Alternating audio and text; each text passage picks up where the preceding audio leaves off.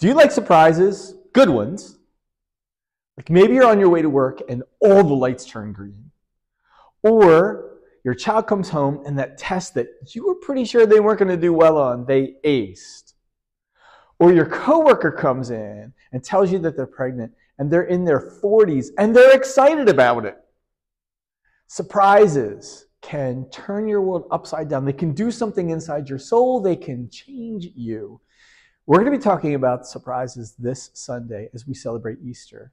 Come join us at our 6:30 sunrise service, our 9 a.m. contemporary service, and our 11 a.m. traditional service to celebrate God's biggest surprise.